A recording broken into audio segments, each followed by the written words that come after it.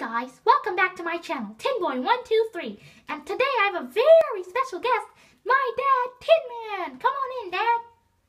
Oh, hey guys, my name's um Tin Man. Uh, wait, Dad, what is Oh, yes, that on your arm? what what are you talking about, son? Dad, we're What you supposed to be silver. We're made out of tin. I am silver. Is there something you want to tell me, Dad? Okay, listen, Dad. What's going I didn't want you to know, but I'm not Dad, actually what are you saying?